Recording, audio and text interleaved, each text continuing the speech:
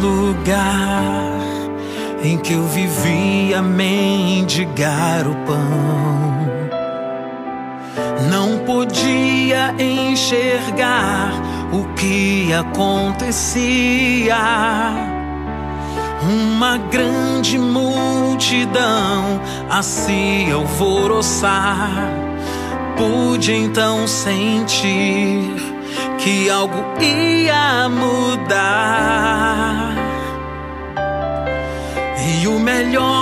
Deus estava por vir. Jesus, presença viva do céu, caminhando entre nós, anunciando o amor e o perdão, trazendo aqui o poder pela fé.